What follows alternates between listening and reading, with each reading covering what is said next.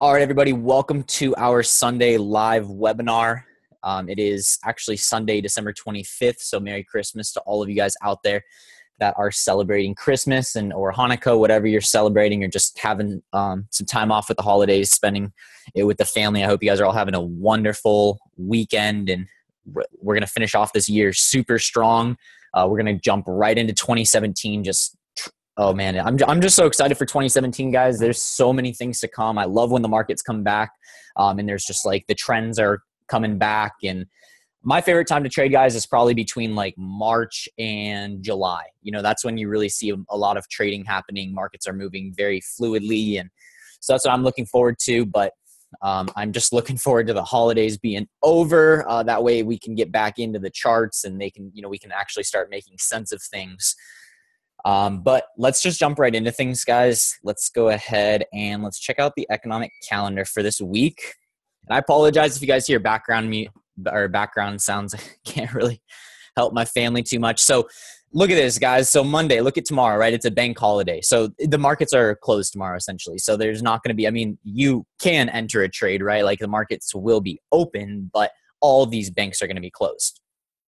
All right, they're all going to be closed. There's going to be like nothing um, and I mean, you guys see this week, like it's super light. There's not a whole lot of uh, market moving news. There's like what four high impact folders that I see this week. So, guys, it's end of the year. You guys have to understand that the the the money that's in the markets, right? People talk about it being, you know, five point three trillion dollars or whatever. Retail traders only make up a like retail traders, you, me, we only make up a small percentage of the actual volume in the forex market. So that being said, you know a lot of the volume comes from like hedge funds and institutional traders and et cetera et cetera. And those um, like hedge funds for instance let's say you're a hedge fund manager right? You're you're let's say you're trading like you know billion dollar accounts as a hedge fund manager. Well if you get a bonus as a hedge fund manager you get a bonus that gets paid off of closed positions. That mean that means that you know that means what does that mean? You have to have the position closed done right? Liquidated. So that being said that's why you aren't seeing like a lot of movement in the markets is because a lot of the movement comes from long-term positions um, you know futures you know everything that isn't retail trading moves the market.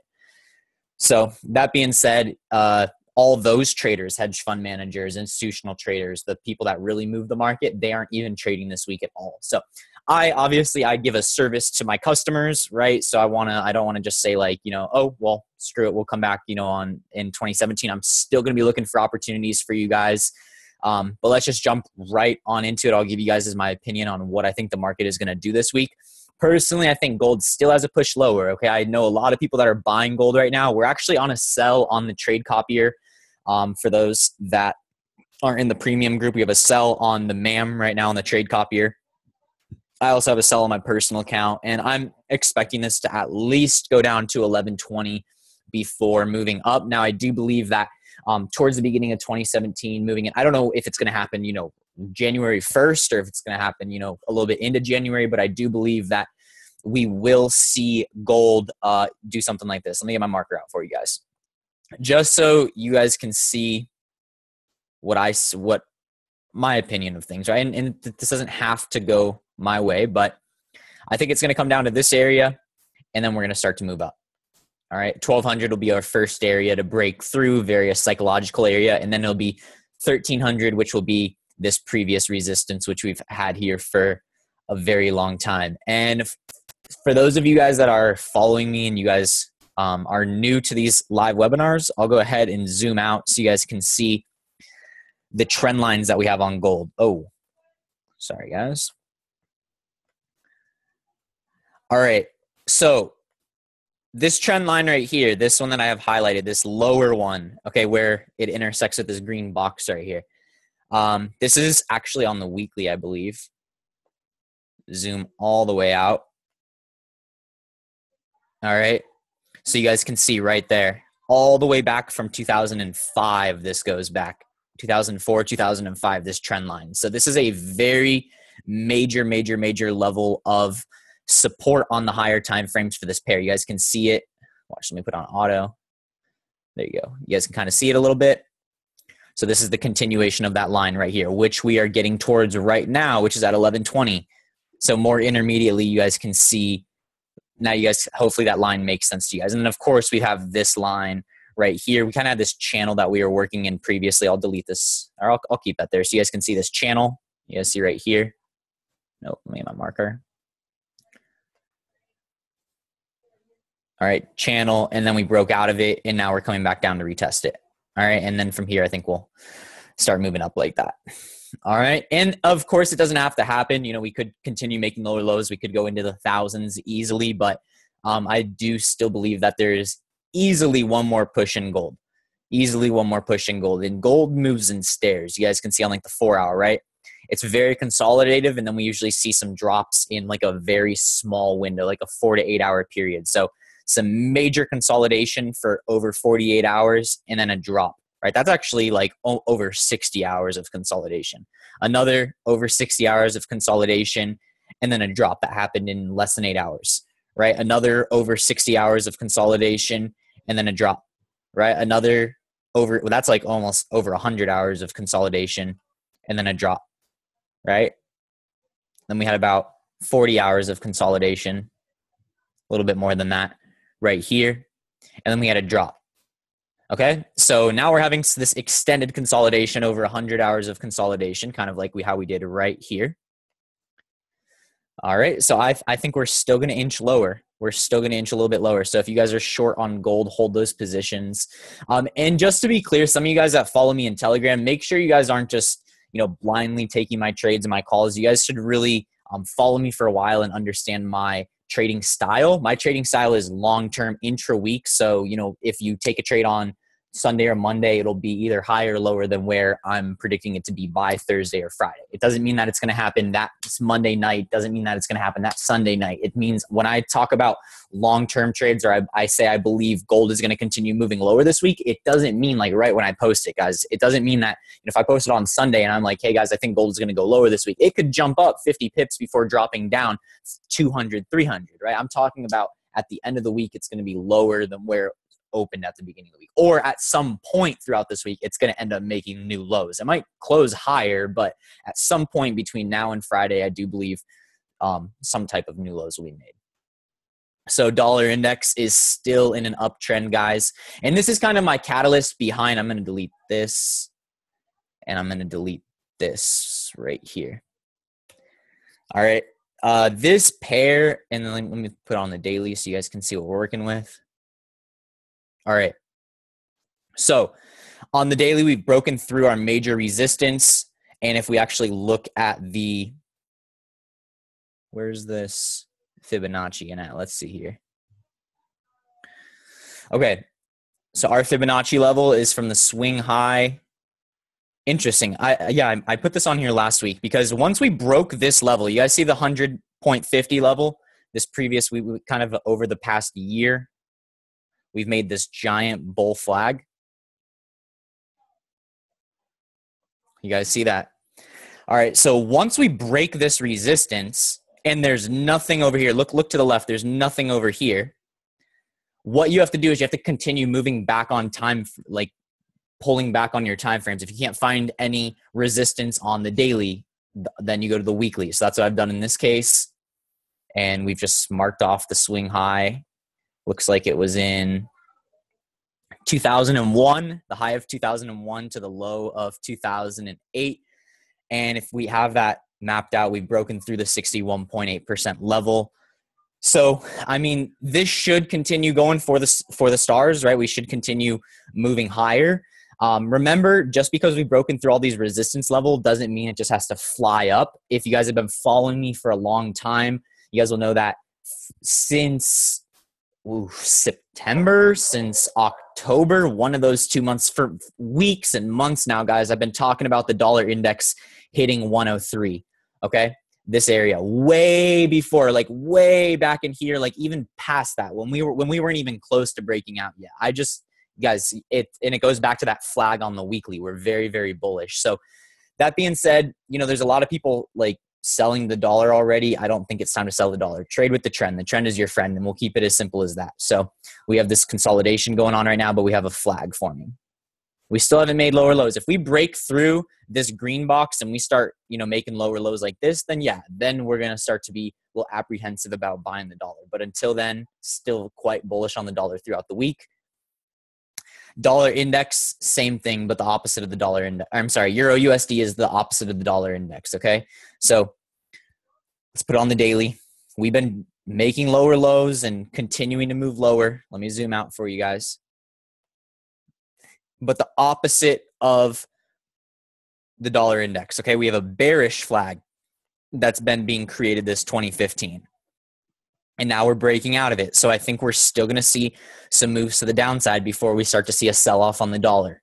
Okay, right now the euro. I, I, don't know if you guys know about Europe. Also, um, basically since uh, for for almost since the U.S. economies crashed in 2009, inversely Europe, okay, the ECB, the European Central Bank, they've been doing what's called quantitative easing. And that's basically, it's just a fancy word for inflation.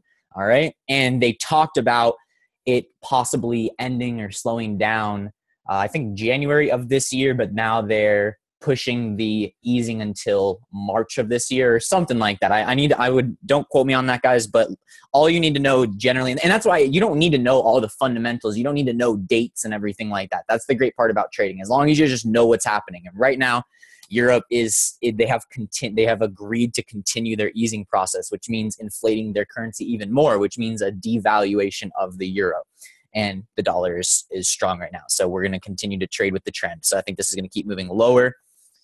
Um, USD Chafe. Sorry for the Wi Fi, guys.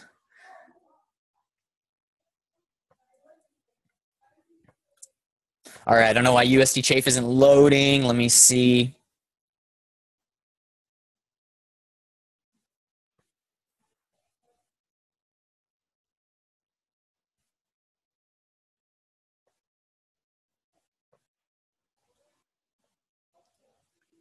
All right, let me know, guys. I think I just I lost connection for a second. Can you guys hear me okay still? Just let me know. Let me get like a little thumbs up or something.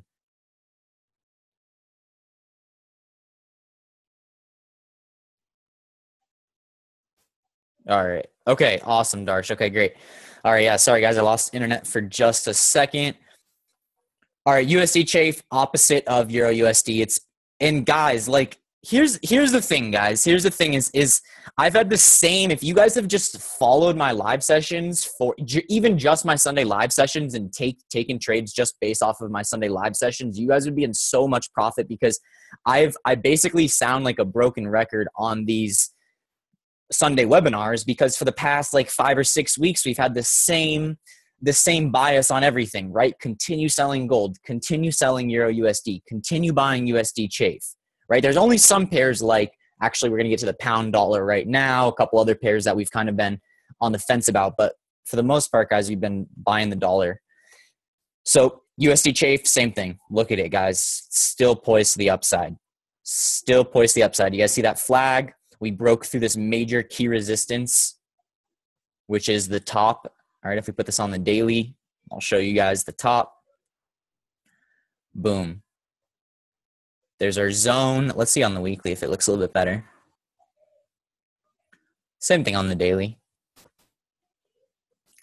This zone, and you guys can see that we have it marked right here because of this top. This is actually the Brexit. Is this Brexit? Yeah, this is the Brexit.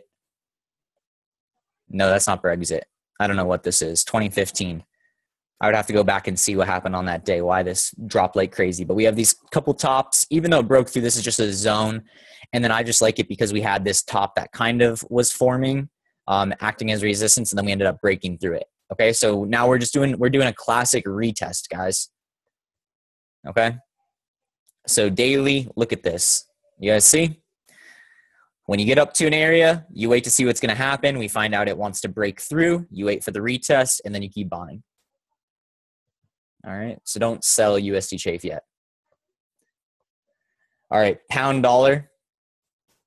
I think pound dollar is going to keep moving a little bit lower, guys. Um, it's in a very strong downtrend because it broke out of this wedge. You guys remember when we were in this wedge, if you guys watched the webinars, we talked about not trading this pair until after it broke out of the wedge. All right, because it's either going to break up to one side or break up to the other side. And so now we're breaking to the downside. So any pullbacks look to sell. Any pullbacks look to sell. Very, very simple. All right, so even this could be like another good sell zone. Right there. We're actually still in a, well, depending on what you guys did, um, I'm personally still in on a, a, sell on the pound dollar. Our official signal is still rolling. It hit take profit one. It's on its way to, it was actually like three pips away from take profit two down here. Um, but this could give us an opportunity to add on to our sell position depending on what kind of formations we have if we get confirmation of shorting. So like on the one hour that when we talk about confirmation, we're talking about like exhaustion candles, bearish engulfing candles, something signaling some more downside momentum. All right, pound yen is actually hitting some pretty solid support. All right, it's still in a, and, and what's funny, guys, is some people like still think that the pound yen is going to keep dropping, and, and it could, it very well could, but we're at major, major resistance. I think we're still headed up to make new highs, guys. Believe it or not. I know that sounds crazy. All right, but people thought I was crazy when I said gold would go down to 1150, and people thought I was crazy when I said the dollar index would go to 103, and people said I was crazy when Euro, when I said Euro USD would break the support the that weekly support. Right? Everybody said no way, no way, right? But again, it happened. All right.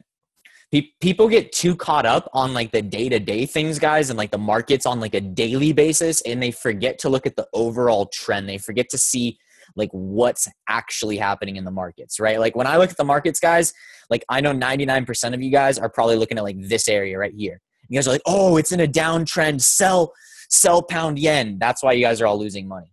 That's why you guys are all losing money. It's because, and I, sorry, I don't mean to say like that. Not all you guys are losing money, but again, what's a statistic? 95% of people lose money in the market. So the 95% of you that are losing money, that's why. It's because you guys aren't looking at the long term picture of this pair. Okay. So, and, and don't get me wrong, you can scalp, yes, but I'm talking about position traders. I'm talking about like people right now that are saying, oh, their take profit is at 140, 137, you know, aiming for, for it to like drop hard. But, and, and again, it could happen, but uh, the bias is still to the upside on this pair. We have some very, very, very strong support that we hit on Friday. And so we're going to see what happens. Is it going to respect it? Because if so, I mean, it's respecting it right now, right? We have three, four hour candles that stopped at this major support. So I think we'll still see a push higher throughout the week, guys. And it might again, it might not be this week because it's you know uh, Christmas today. Banks are closed tomorrow, and then there's New Year's Eve on Saturday. I think. Let me see. New Year's Eve on, yeah, New Year's Eve on Saturday. So markets are going to be in anticipation for the new year. All right, AUD USD guys. Um, AUD USD I wouldn't touch right now because it is kind of at our PRZ. We're going to see what happens. Uh, if it's going to make a little bit push lower, which I think it could. I think it, because gold might drop a little bit lower, in my opinion, I think AUD USD may not respect this support, but end up coming back up eventually. So what I mean by this is, I think it could drop a little bit below this support. Now, I think that that's going to be a fake out personally, okay, to trap sellers that are trying to sell once they see this breakout. And I'm so I'm going to be looking for buys um, once we head a little bit lower. Just like I'm going to be looking for buys on AUD USD. I mean, I'm sorry, on gold once it moves a little bit lower.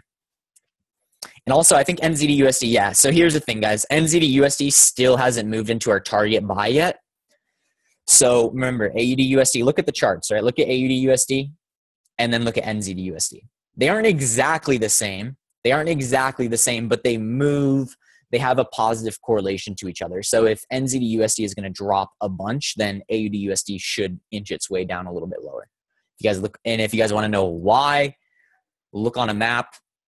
If you, I know a lot of people don't know geography. New Zealand, guys, is right off of the coast of Australia. It's like literally right next to it. All right. So they're like, they're neighbors. New Zealand is the closest country to Australia.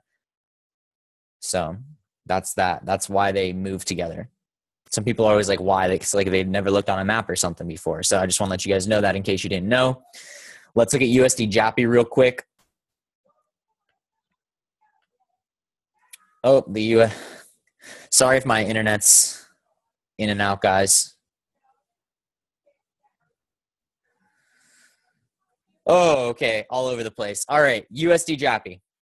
All right. USD Jappy, guys, I think still has higher to go, right? Just kind of like each pair, just continuing their trend. Um, and why do I think that, guys, is because of last week, right? We just haven't had any um, exhaustion to the downside yet. We're still respecting this major support, right? We still have this flag that's being formed. Okay, so until we were to break these lows or even these, you know, previous highs, and we if price was to come down here, then yeah, then we could be looking at selling USD JAPI. But guys, don't don't sell USD JAPI. Don't look at this area and be like, oh, USD JAPI is going down. Because what's going to happen is you're going to hesitate selling heat. Okay, let me just explain something to you guys. Let me show you like why why you have to trade with the long term trend or you just have to have balls and get into a trade and, and have confidence when you get into it if you're going to scalp, right? Let me show you guys why. Because right here, right, you guys are like, oh no, it's probably going up, right? Because traders are so emotional, right? And then they see this four hour candle and they they get they they they're like oh i want to sell it right? But they hesitate right? You usually don't sell right away or buy at the top right? Most traders end up picking a top or a bottom and being wrong in both places. So th- the problem is guys is that everybody hesitates to sell during this time right? And then they see the, this like four hour candle and they're like oh this pair is so bearish. It's going to drop so hard right? And then they end up selling and then that's when the markets keep going up. And that's that's it's not that's not market makers guys. That's just experience. You have to know just from experience what to do and what not to do. You can't like come into forex and like after three months think you know everything or even after a year think you know everything you know? Like i don't even i'm still learning things on a regular basis too. And i'm a full-time trader. I trade i make my money make my living off of trading. So there's still things that you pick up every day but my the key is is to not be like overconfident. You always want to be humble and always learning and you know be like okay what can i learn today? What can i take from this? What can i do better on this trade next time or this type of trade next time? So again usd japi look for buys on this pair. Markets are going to be dead though guys just so you guys know. There's markets aren't going to be doing much this week. All right so look for buys on this pair. Usd cad look for buys. I think that we're going to tell, well, we're near the 50% retracement level. We're getting there. So when I say buy, guys, you can continue to buy into the trend up until the 50% level. Okay, but this is a very big level. It got rejected earlier this year, actually just a couple weeks ago. Got rejected right here. You guys can see this is the 50% level. All right, so price was rejected we may have another rejection. If we get a double top to form, then that's going to be some good a good push to the downside. Now, let me tell you guys this too is that you guys know how I said gold, I think it's going to go up a little bit a little bit lower and then we're going to be looking for like a long-term buy. All right, gold and USD CAD recently have been pretty much doing the opposite of each other, you can say that. So, if gold is going to go down a little bit lower and then going up, then USD CAD is going to go up a little bit higher and then come down. So this could give us good conviction to get in a sell in this area. Um, and again, I'm not biased to the upside until the 50% level breaks. Okay. But because we are super bullish, I wouldn't, what I'm saying is, I wouldn't be surprised if that 50% level did break.